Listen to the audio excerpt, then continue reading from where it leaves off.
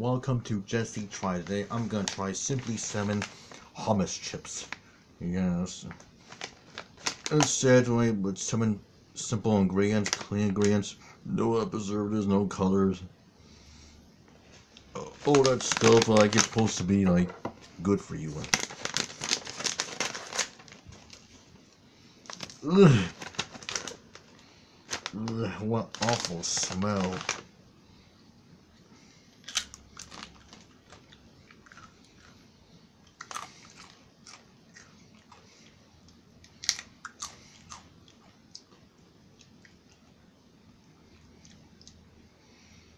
Ugh. What awful smell. It smells like paint.